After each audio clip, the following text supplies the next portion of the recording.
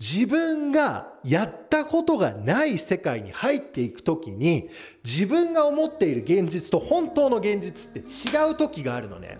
で、その時に98%の人たちは自分が悪いんだって思って諦めちゃうわけよ。で、レイさんが言ってるのは、そこで諦めるな。成功の5つのステップっていうのがあるんで、これをやったらあなたも成功できるぜって言ってるのね。で、今日はこの成功の5つのステップを紹介します。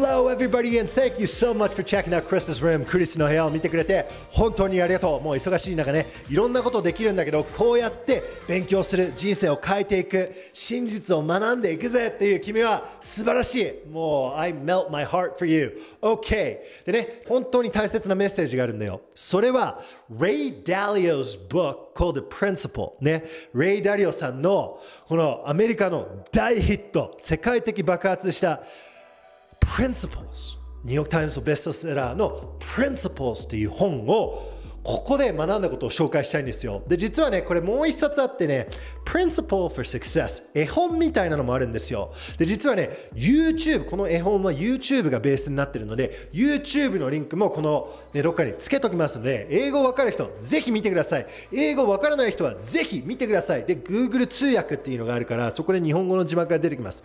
やばいっす。マジやばいっす。本当に人生変わります。で、どういうことかっていうと、まあ、まずね、レイさんは180億円満長者なんだよね。180 million dollars. 1.8 billion dollars, right? Like, 彼も言ってるんだよ。僕はもう自分としてはもうこれ以上成功する必要はない。成功できた。で、僕がやりたいのは他の人が成功できるようなことをお話したいんだっていう感じで本がスタートするんだけど、まずね、この中で最初なすっごい大切なポイントがあるんですよ。でそれは何かっていうと、僕たちの人生を変えていくじゃないですか。やりたいことで生きていく、大好きなことを見つけて本当にね、フルの自分として生きていくんだっていう風になると、学校で教えてないことをやらないといけないんだよね。誰も教えてないこと、周りの人がやってないこと、まだやってない、知らないことを実際に勉強して考えて行動を取らんといけないよな。ね。これがメガの、ちょっとね、当たり前だよ。当たり前だよね。やりたいことをやるっつったら自分が知らないことを勉強して実際にやったことがないことを行動を取るのは当たり前だよね。ってなると、これロジックで論理で考えると何が起こるかっていうと、ね。自分が知らないことを初めてやっていくっていうことをやり続けないといけないんだよね。で、何が起こるかっていうと、ね、自分が思っている結果と現実に違いが出てくるんだよね。で、もう一回言うね。自分が思っていることと現実って違うんですよ。ね、これポジティブとネガティブの場合もあるんだよ。ね。普通の人は自分ができないっていう、自分はできない人なんだ。幸せになれないんだ。仕事っていうのは辛いんだ。そんなの当たり前だよ。みんな言ってるもん。社会が言ってるし、ね、テレビでも言ってるし、ね、辛いんだよ。ね、あなた本当にそう思ってるでしょ。知ってる。ね。それが現実だと思ってる人がめちゃくちゃ多いのね。でも、それは現実とは限らないわけよ。ね。どういうことかっていうと、ね。自分がやったことがない世界に入っていく時に自分が思っている現実と本当の現実って違う時があるのね。で、その時に98%の人たちは自分が悪いんだと思って諦めちゃうわけよ。で、レイさんが言ってるのは、そこで諦めるな。成功の5つのステップっていうのがあるんで、これをやったらあなたも成功できるぜって言ってるのね。で、今日はこの成功の5つのステップを紹介します。まず、最初。最初のステップはゴールを決めることです。Okay? You can't go anywhere without the goal. ね、何をやりたいのか、どこに向かうのか、どの山を登るのか。This is your vision. This is your heart. This is your calling. Right? スティーブ・ジョブズが言うコーリングなんだよ。愛せることを見つけようぜ。フルのありのままの自分で暮らせる。生きていける自分が本当にやりたいことで生きていけるっていう、まあ、仕事の場合だったらねそういう人かもしれないし、まあ、恋愛とか人間関係とかいろいろあるんですけれども、ね、これちっちゃいプロジェクトでもいいんだよ。でっかいプロジェクトもいいんだよ。まずゴールが必要なのよ。でビジョンとかマジ本当にどうやって生きていくっていうふうになったら You gotta know your freaking truth man. You gotta know your truth. あなたは自分の得意なこと苦手なこと向いていることね、これ現実的に考えていけないわけよ。ね、わかります？あなたがね、例えば、例えばね、僕は Excel が正直言って、まあ、エクス苦手なんだよ、まあ、本当は得意なんだけどやるのが大嫌いなんだよね。で大嫌いなことで現実的に成功できるかって言ったらできないわけよ。で気をつけないといけないわけよ。自分は何をしたいのかっていうところで本当に自分が得意でわかる？自分で得意なことで行動したらすっごいリターンが来るわけよ。でも自分が苦手なことでどんなに努力して頑張ってもリターンが少ないのね。例えば僕が YouTube で話すって言ったら多分ね、10分の間で10っていう結果を取れるわけよ。でも話すのが苦手な人がここに来て YouTube で話してって言ったら多分1っていう行動も取れないよ。ちょっとしか結果にならないわけよ。わかる？レバレッジ、レバレッジ。自分がこれをやったらものすごいリターンが来るっていうの。これ自分で知らないといけないからね。これあなた大人でしょ？これ誰もやってくれないよ？ね、学校の先生はやってくれないからね。OK? なので、まず最初のポイントは、ゴールっていうのがあるのよ。で、次のステップは何でしょう？これ頭がいい人は、もうあなたは素晴らしい。知ってるよね？問題なんだよ。問題っていうのが必ず出てくるわけよ。OK? 98%の人たちは、ステップ2クリアできないのよ。わかる ?5 つのステップがあるのよ。わかる？最初の問題が出てきた瞬間、ちょっと難しくなった状態、ちょっとチャレンジを感じた状態で人は逃げるのね。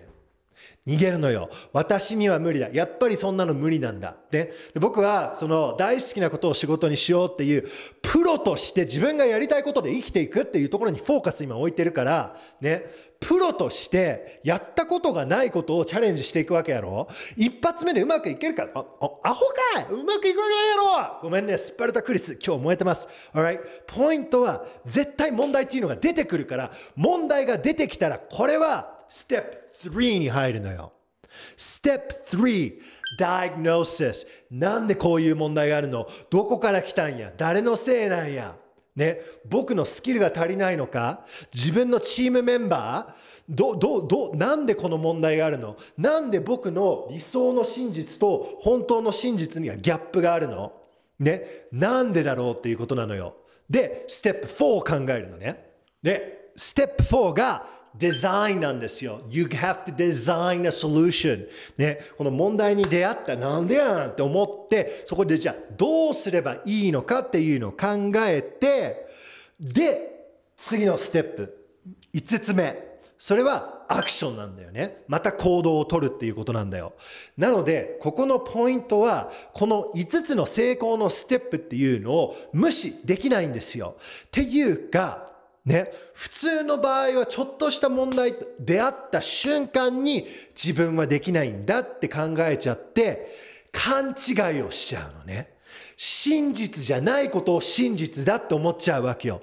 That's why you have to always come to the truth, man. ね、面白い話があるんだよ。僕が25歳の時にこういう仕事やりたかったんだよ。で、やろうとして何が起こったっていうと2ヶ月で諦めたのよ。25歳でスタートするぞって親父に言ってね、こういうのやるんだって。で、親父の周りの人たちもこういうのやるんだって、お前そんなの無理。アホやめろそんな仕事は辛いもんなんだとか言って、あ、無理だって。ね。まあでもやってみるぞって言って2ヶ月後、稼げないわけよ。お金が入ってこないわけよ。食べていけないわけよ。何？僕何する？もちろんこの5つのステップは知らなかったからどこに問題があるんだっていうのそんなの考えないで僕がダメなんだって勘違いしちゃったわけよで辛い仕事やりたくない仕事をやってでまた本当にグレーもう本当にどん底のところに行ってこんなの無理って言ってやっぱりもう一回やりたいことやってみようって言ってそのね怖い会社を辞めて会社辞めたらね親父に電話かかってくんだよ。お前の息子の給料返せみたいな。うわ電話恐怖症になるぜ。ね。で見事に今度こそやりたいことでやってみるんだって言うんだけど多分無理でしょ本当にやりたいことなんてできないからみたいな感じでちょっとね本当はこれやりたいんだけどまあ近いことこれ近いからいいかみたいなことをやってみると。ねでちょっと進んでみるとでもそれでできないんですよ。収入が入ってこないんや。ね、どうするんやって言ってやっぱわしは無理なんやって思ってどん底に入ってまた見事に怖い僕のパターンやな。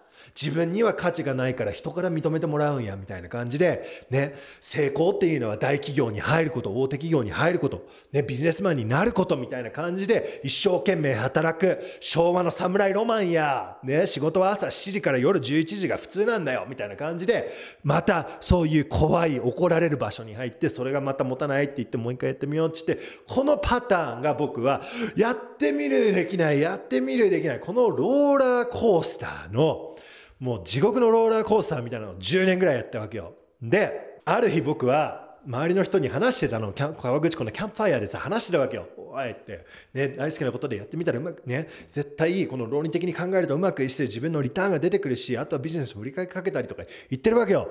で、1年後、僕はなんかね、本当にどん底で、まあどん底の手前だったんだよね。今仕事スイッチして、まあまあ、ね、本当に給料20万もいってない時なのよ。で、僕の友達が、クリス、君は素晴らしいライフコーチだぜみたいなの来るわけよ。何言ってんやんって言って。いや、本当にね、普通の仕事、月収、プラス30から35万普通に毎月入ってくるようになったんだよ。クリスのおかげだよ。ね、あなたが言ってる通りに本当にやりたいことを見つけて実際に動いてたら収入めっちゃ上がったんだよって。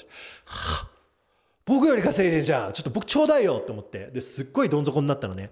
僕はライフコーチとしてこういう仕事っちゅう無理なんやって。ね、本当にできないんだって思ってたわけよ。ね。で、僕考えたわけよ。現実に戻したわけよ。ね、現実は僕はどんなに頑張ってもお金が入ってこないようなセッティングにしてたの。なぜかっていうと、コースを販売しなかったから。自分がライフコーチになるって言ってちょこちょこ YouTube やってるかもしれないんだけど、別の仕事で生活しながら、ね、そのライフコーチとしての収入のビジネスの場所を用意してなかったのね。ね、でこれを用意して実際にやったらもう最初は月10万円14万円だったかな一番最初は。でそれでも本当にあの上がっていったわけなんですよ。で今は本当にチームのメンバーとと一緒にやっていける。もう本当にねもう素晴らしいことなんだよ。で真実は何のか何なのかっていうことなのよ。真実はできたんだよね僕の場合は。ね。でも諦めてたらできなかったわけよ。で自分の真実を気をつけないといけないわけよ。Right? So you gotta know your truth. 自分の本当の真実っていうのは何なのか。ね、自分が得意なこと。ね、で、学校っていうのはあなたを終わらせることはできるのよ。仕事もあなたを終わらせることはできるのよ。ね、学校、テスト受かんなかったからダメです。受験受かんなかったからダメです。あなたはダメな人なんです。ね、仕事、あなた仕事できないからあなたダメです。あなたクビです。ね、ダメ。終わっちゃうわけよ。でもそれは真実じゃないのよ。真実っていうのはあなたは止まらないのよ。あなたを止めることはできないんだよ。だから申し訳ないんだけど、正直言って僕たちの生活って習慣になってるわけよ。朝起きて、ね、絶対全く同じことやってると思うよ。ね、夜寝る前に何やってるって平日に夜寝る前に多分ほぼ同じことを80%の時代やってると思うんだよね週末も同じことなんだよちゅうことは We are creatures of habit これが真実なんだよっていうことは目の前の目標を達成したらうまくいくっていう真実真実じゃないかもしれないわけよもう自分は止まることができないからちょっとずつ自分に本当に必要なこと本当にやりたいことを少しでもいいから勉強しながらやっていくと大きく人生がリアルに変わっていくんだよね。ねこれがリアルなんだよ。Alright. Thank you so much for checking out this video. 本当にこのビデオを見てくれてありがとうございます。でね、ちょっとお知らせがあるんだけど、僕ね、スタートキットっていう新しいコースの販売をスタートしました。もう興味があったらぜひ今すぐやってみてください。本当にやりたいことで生きてみたいんだけど、やり方ってわかんないんだよね。で本でね、見ると、昔のやり方って、このでっかいことをやって苦労して苦労して努力して成功できるんだって、それ古いやり方。今のやり方は努力は60%。でも何が必要かっていうと、習慣を使っていく。自分がやる気がなくても自分に大切なことをやっていける。目の前の植物じゃなくて全体的にファームを見る。これね本当にね深い深い。僕が25歳の時にこれを知ってたらこんな変なローラーコースター絶対やってなかった。もっと冷静に大切なことにフォーカスして幸せに生きていってたと思います。ね。また本当にやってるんだけど結果が出ない人ぜひスタートキットやってみてください。めちゃくちゃ動いてるんだけど結果が出ないから私無理かもって思ったらスタートキットそこで会いましょう。Alright man. I will see you soon. 本当にねみんながワクワクして大好きなことで生きていける。で本当に大切なこと。でしっかりそれをやっているからさっさっさって自分が思っているところに人生が進んでいけるようになる、ね、そのために一緒に頑張っていきましょう。Alright you guys thank you so much for checking out this video and I'll see you next week. ありがとう。